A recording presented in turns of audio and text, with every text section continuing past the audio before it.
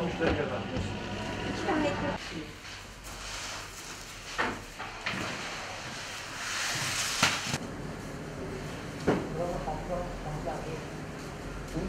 Hangileri koyma abi. Afiyet olsun. İyi günler. Merhaba. 5 lira efendim. Buyurun. Akşam geç saatlere kadar ekmek çıkıyor. Yani bu, e, bunu millet markete tercih etmiyor. Fırınlarda tercih ediyor şu anda. Sıcaklığından dolayı. Evet el değmiyor. Bize sürekli yoğunluk olduğu için zaten kürek üzeri satıyoruz. Yani kasalara bile ekmek girmiyor. Ekmek bile yetişmiyor bazen. Daha önce çok nadir yani diyebilirim. Yani bir tane iki tane maya satabiliyorum satamıyordum. Şu anda günde bir koli maya rahat satıyorum ben. Yani bir 12 kilo. Millet sürekli zaten bize un da alıyor. Evde ekmek yapıyorlar kendisi. Tarife de alıyorlar. Yani evde yapmayı tercih ediyorlar abi. Dışarı çıkmak istemiyorlar. Ne bileyim korkuyorlar. Herkeste korku var bu korku.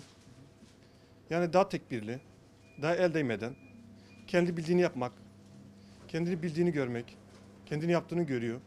Ya şu anda hiç yaşamadık. Ama zam olayını yaşayabiliyoruz şu anda. Maya satmış biraz arttı. Hani millet evde ekmek yapmayı daha tercih ediyor.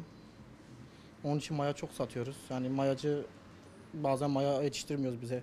Maske, eldiven, şu şunla korunmaya çalışıyoruz. Şu tarz maskelerle falan. Sosyal mesafemizi koruyoruz tabii. Eldivensiz ekmek vermiyoruz. Hani dışarı zaten dışarı ekmek veriyorduk. Bakkal ekmeklerimiz neredeyse kimse ekmek almıyor.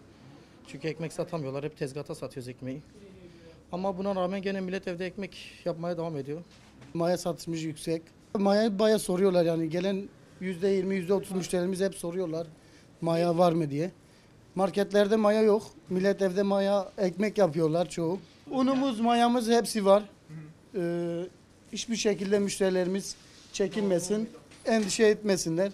Mayamız da var, unumuz da var. Çiçek var mı? Yeni çıkan? Var. Ye- yeni çıkan çiçek var mı? Çiçek.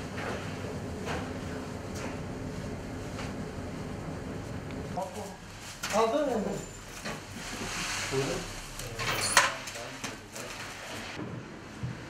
Çavdar, kepek, buğday, ötür ekmeği.